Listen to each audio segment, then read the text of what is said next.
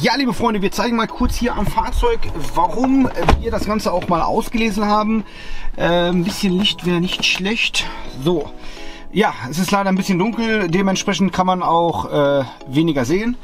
Ähm, ja, der Schlüssel ist im Zündschloss gerade, der steckt, wir drehen den und das Auto startet nicht. Ja, und manchmal startet das dann mit dem anderen Schlüssel. Das heißt, wir haben es auch gerade in der Diagnose gesehen, es gibt hier einen Fehler in der EWS, in der elektronischen Wegfahrsperre.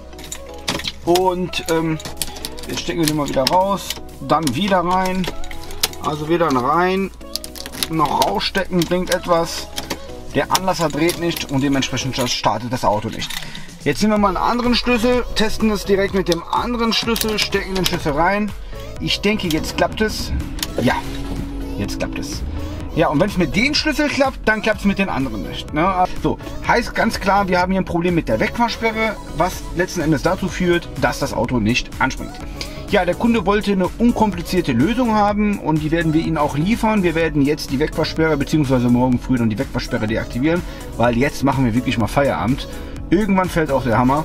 Und ja, nachdem wir die Wegfahrsperre deaktiviert haben, dann werden wir euch anschließend mal zeigen, wie der Wagen mit beiden Schlüsseln startet und wir auch gar keine EWS mehr benötigen und dementsprechend startet das Auto ohne ein Wegfahrsperrenmodul einfach nur direkt vom Motorsteuergerät die Freigabe zum Starten und das ist das, was der Kunde will.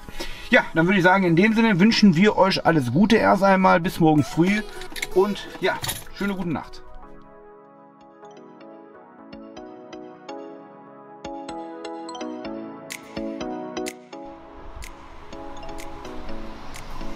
Und herzlich willkommen heute von der Firma Rezek. Wir haben ja gestern das Auto hier reinbekommen. Das Auto lief ja nicht, beziehungsweise hatte sporadische Ausfälle, dass das Auto nicht anging. Manchmal ging das Auto an, manchmal ging das Auto nicht an. Wir haben es ja auch soweit schon ausgelesen gehabt und es gab einen Fehlercode im Fehlerspeicher, dass die elektronische Wegfahrsperre ein Problem gibt.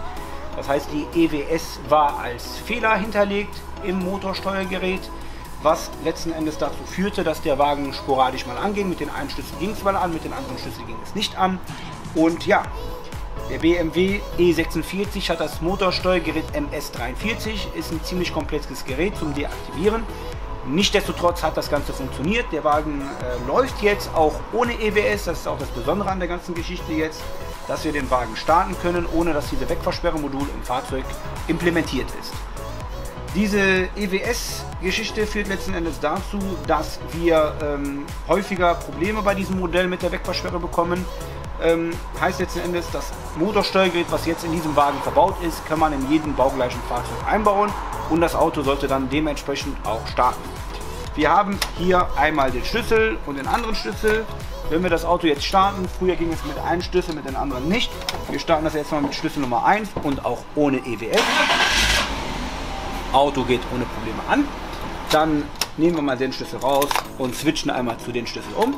Stecken den Schlüssel einmal rein und das Auto geht dementsprechend auch an. Ja, liebe Freunde, dadurch, dass ja die Wegfahrsperre jetzt vom Motorsteuergerät deaktiviert ist, benötigen wir ja auch nicht mehr die Wegfahrsperrenbox. Die Wegfahrsperrenbox nennt sich bei, ja, bei BMW EWS elektronische Wegfahrsperrenbox. Das bedeutet, was können wir mit der Box machen? Ganz einfach in die Tonne hauen,